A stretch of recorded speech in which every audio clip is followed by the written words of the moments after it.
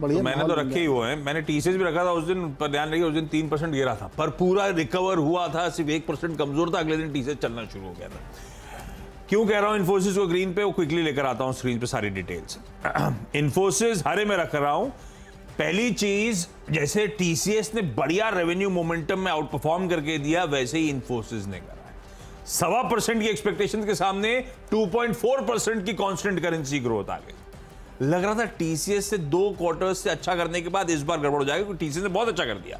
इन्होंने फिर टीसीएस को पछाड़ दिया। तीसरा स्ट्रेट क्वार्टर है, जब टीसीएस से अच्छी कांस्टेंट करेंसी ग्रोथ इन इस कंपनी की आती है टीसीएस की 2.2 इनकी 2.4 बढ़िया नंबर गाइडेंस पूरा गाँव मान रहा था कि भाई, जस का तस रहेगा, कोई छेड़छाड़ नहीं होगा गाइडेंस बढ़ा दिया। 15 से 16 परसेंट वाला गाइडेंस बढ़ा के 16 से साढ़े सोलह परसेंट कर दिया है। पर उससे ये कोई मतलब नहीं कि क्यूफर अच्छा रहेगा। ये गाइडेंस इसीलिए रिवाइज हुआ है क्योंकि इस क्वार्टर का परफॉर्मेंस अच्छा हो गया है। एक्सपेक्टेशन से बेहतर हुआ तो गाइडेंस बढ़ गई। दरअसल गाइडेंस फैक्टर इन कर रही है एक न्यूट्रल सा क्यू फोर ये ध्यान रखिएगा, उस पर कैरेड अवे नहीं होना है, वो तो अच्छा परफॉर्मेंस है, इसीलिए गाइडेंस रिवाइज हो गई। ऊपर की तरफ़। डील विंस स्ट्रांग है। पिछले आठ क्वार्टर्स में इस तरह की डील विंस नहीं है 3.3 बिलियन डॉलर्स की। पिछले क्वार्टर 2.7 बिलियन डॉलर्स तो अच्छी डील विंस है। और इस बार मार्जिन मेरे ख्याल से स्ट्रीट जो फैक्टर कर रहा था रेवेन्यू ग्रोथ ठंडा मार्जिन एक्सपेंशन उसका उल्टा हो रहा है। रेवेन्यूज पिकअप हो रहे हैं मार्जिन उतने अच्छे नहीं, जितनी स्ट्रीट फैक्टर कर रहा है। मार्जिन पे खैर नज़र भी नहीं है मेरी इस क्वार्टर में। मार्जिन एक दो क्वार्टर से अब स्टेबलाइज हो चुके हैं। मार्जिन नॉट इंपॉर्टेंट इंपॉर्टेंट है रेवेन्यू मोमेंटम इंपॉर्टेंट है कमेंट्रीज मैनेजमेंट की आउटलुक को लेकर। तो ये फिर भी मार्जिन रिटेन कर रहे हैं, इक्कीस से बाईस परसेंट का जो पूरे साल का गाइडेंस दिया हुआ है। तो ऐसा कोई घबराना करनी है, मान के चल रहे हैं कि उस गाइडेंस के बैंड को अचीव कर ही लेंगे। और मार्जिन वैसे भी फ्लैट ही रहे, ऐसा नहीं है कि कोई दिक्कत आई। हाँ अब उसमें कंप्लेंट हो सकती है। जैसे टीसीएस के दिन मैंने बुक टू बिल के बारे में हाईलाइट करा था कि कंसर्न्स हैं। इन्फोसिस के लिए भी कहा जा रहा है, जो रेवेन्यू मोमेंटम अच्छा हुआ है, वो थर्ड पार्टी आइटम्स जो आए थे, उसके चलते इंप्रूवमेंट है। खैर, वो इफ्स एंड बट्स हमेशा रहते हैं।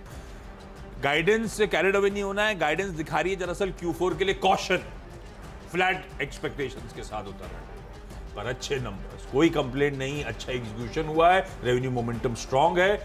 अब आगे आने वाले तिमाहियों में कुछ इश्यूज़ आएँगे, तब की तब देखी जाएगी। अच्छे नंबर्स हैं। इसको मैं ग्रीन रख के चल रहा हूँ। H C L Tech TCS और इन्फोसिस से बेहतर परफॉर्म करके देखे गया है। ऐसा क्यों कह रहा हूँ? रेवेन्यू बीट है प्लस मार्जिन बीट है। इन्फोसिस और टीसीएस ने मार्जिन बीट नहीं दिया। इन्होंने वो भी दिखा दिया।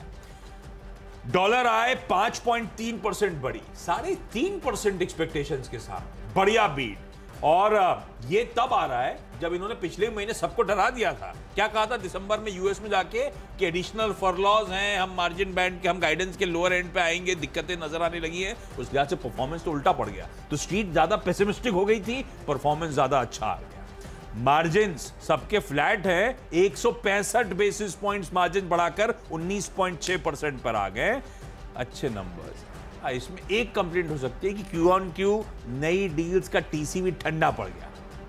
साल दर साल हालाँकि उसमें भी 10 परसेंट का उछाल है लेकिन नंबर्स पे कोई कंप्लेंट नहीं होनी चाहिए इसीलिए ग्रीन रख के चल रहा हूँ। बिहेवियर बात की बात। तो फिर ये दोनों अच्छे नंबर्स टीसीएस अच्छा लगा था मुझे इंटरनल जितना स्ट्रीट चिंतित था उस लिहाज से तो विप्रो ग्रीन लेके चल रहा हूँ पर विप्रो के नंबर्स आज शाम को बाज़ार बंद होने के बाद आने दिन के दौरान अगर कुछ मोमेंटम पिकअप हो फ़ायदा हो तो निकल जाने का या फिर आपका एडवाइजर सजेस्ट करेगा ये रिस्की रेट है। रिस्की क्या है?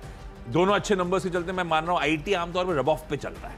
विप्रो इसलिए ग्रीन मान तीनों आईटी ना? तीनों आई तो ये तीनों जो तीनों जो बड़े भाई लोग हैं इन्होंने बहुत अच्छा प्रदर्शन किया छोटे भाई थोड़ा बहुत कर ही। देंगे कर देंगे ना? कल साइंट ने कर दिया।